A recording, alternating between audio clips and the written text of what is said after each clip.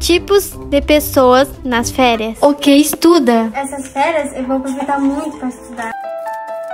Ó teu café. Bebe. O que sai com os amigos. O que vai na praia. Nesse caso, a praia que eu estou é na beira de um rio, já que eu moro longe do mar. Lucy vai dar um mergulho na água, vai. Encontrei um ser aqui na praia. Meu Deus! O que não gosta de sair? Oi, amiga. Vamos sair hoje? Não, não posso. Minha mãe não deixa. Mas você mora sozinha. É... O que fica limpando a casa? Ah, querida na praia. Não aguento mais lavar essa louça. Tá de brincadeira, né? É que tu já tá lavando a louça, tu pode lavar meu prato, né? Tu tá deixando ficar de palhaço, é? Desculpa!